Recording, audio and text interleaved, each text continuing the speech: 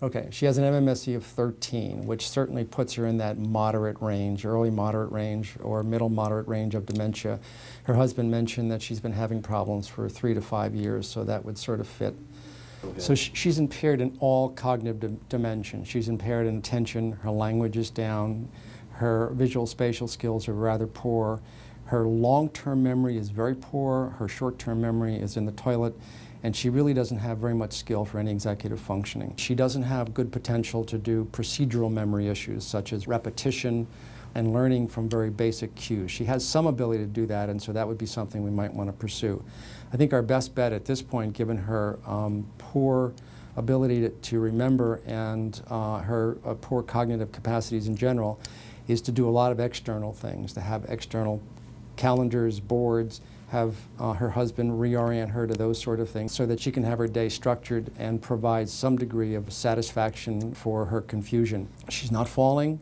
She um, was able to hear and see reasonably well. In fact, I, uh, uh, not very smartly, didn't have her put on her glasses for a couple things, and so she might have had some negative points because of that. But, um, but in general, I, I, would say that, that uh, she's healthy. And premorbidly, she's smart. This is a, a woman, I think, who had had one to two uh, years in college, and she's also able to recognize a little bit that she has problems. So insight is not good, but at this moment, she's uh, in the moderate stages of dementia, and any retraining that we would do, I think, has to be very externally based, procedurally memory based, and we have to help the husband with that. It's possible that some of this may lift. Yeah. Her function may improve. We just don't know. So we'll have to follow her over time the best guess that I think you and I might have, certainly I, would be that's not going to be very much. And also maybe uh, her mood is not bad. I mean, she doesn't complain about things, so that's, that's, a, that's, a, that's a wonderful thing. I was hoping if we had someone in the moderate ranges that we'd have a little bit of insight, a little bit of procedural memory capacity, and a little bit of, of, of capacity beyond simple attention. She could not remember my name, for example, after I repeated it maybe seven, eight times in two minutes. Um, and that's usually a bad marker look forward. She's on very little medicine, so let's wean her off the Risperdal.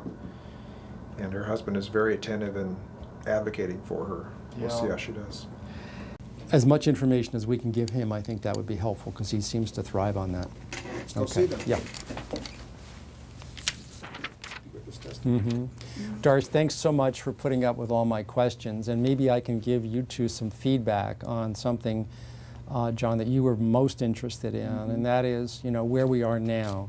And uh, the testing uh, reveals that we're in about the moderate stages of dementia. Mm -hmm. In the level of moderate to severe dementia, there's not a whole lot you're going to be able to do with the identified patient by themselves. And so the action comes with the caregiver in the long-term care facility, whether it's an assisted living or nursing home, or the spouse or the adult child. And that's tough you know, if he gets depressed or angry or annoyed with us or or what's going on in the assisted living, that's going to make a big difference with how she is. We know we now have data to know that if he gets depressed, she gets depressed because he's depressed.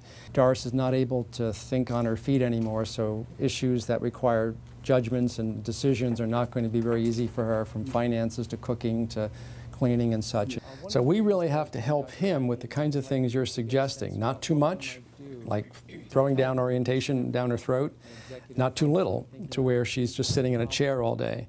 And what that uh, happy medium is, is, you know, is anybody's guess, but it's reasonable to make efforts to do things, especially if you get her buy into things. And also, there, there, uh, uh, although her long-term memory and short-term memory are not very good, there are some things, little islands in there that she can uh, bring back, yes. and, and, uh, and that would be certainly something you'd want to do. So rewarding that. These people have a varied view of their identity, and we know what they used to be like. Let's really get to know that.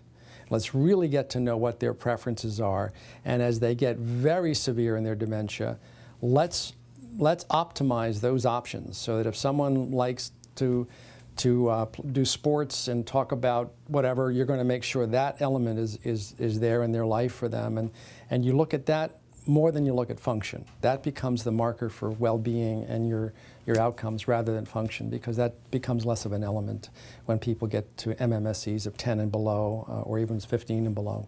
We didn't get a chance to ask you whether she's able to dress herself, for example. She does. She does. That's great. Now that might go down at some point, usually when we... Will uh, get to, to the stages that I have her at, uh, it starts to have some, yeah, start to have some trouble. And so um, those are behaviors that we want you to give us some feedback on, Yeah. uh, so that we'll know how to help you. Well, let me summarize what I'm hearing from Dr. Hyer. Your wife does have a substantial degree of dementia. Oh, yes. Which we know. I don't know how much of this is, is overlaid by the drug Risperdal. It's, it's not everything, though. Um, But I think what we're gonna do is pursue this tapering, and then you and I will talk again. So I'd Sure. like to see her back in about six weeks. Yeah, I So- think we have an appointment. Her husband is very motivated to help her. He's the best clinician in the room. He is the most important person in her life, uh, for, for her and for him. Well, it seems like between you and Dr. Ackermann, he's very happy with the honesty and the feedback you had given him. I did want to Yeah. mention one other medical issue. Her leg swelling concerns me a little bit. She's on a diuretic. She is sedentary, as you said, but the right leg is more swollen than the left. So while we're doing all this, I would like to do a little um, scan on her leg to make sure there's no trouble with her veins. That she could have a clot developing in that leg Sure. because she's so sedentary. Um, we can set that up as an outpatient. We will make you an appointment for that. So before I see you, that test will be done. If it's possible to bring one of the nursing assistants from uh, Flint River, that would be helpful too, because they apparently spend a lot of time with Yeah. her, and that would be helpful to sort of get a, a sense about what are the troubles where the rubber meets the road, so to speak. I'll, I'll give it a shot. Okay. So that's why I made the suggestion at the end if there's any way we can get that caregiver to come in, that would help. Well, it's tough getting her out of bed. She dresses well, but I have to lay her clothes out. Uh, she sometimes puts the clothes on wrong. So we get a real uh, i- i- good information about where we are with her, and that would make a big difference. The message that we give the geropsychiatry, the gero fellows here, is the message that I try to give them is the most important intervention they're going to do is their person, how they communicate, how they connect. Doris, thank you so much for coming to put up with all our questions today and, and, and other things. Do either of you have any other questions or concerns? No, I have no concerns. It's just that uh, I hope it's beneficial. That's all. Help somebody else down the line. All right. Because uh, we were shooting blind. Trust me, it's a it's a blank wall when you hit it. Well, thank you for coming, and I hope we can do something that will be helpful to both Oh, you I'm and sure your you will. Yeah. Doris, sure. we'll see you again in about Thanks, six guys. weeks. If we don't have Great. help us, maybe Thank it'll help somebody Thank else. you. Very nice. He wants to help his wife. He wants to be in charge. He wants to get the data. He wants to get the facts. And so that's that's our obligation is to make sure that his thirst is, is slaked when he leaves the office. Okay, I can do this. I understand this. This is what's going on, and, and I'm ready.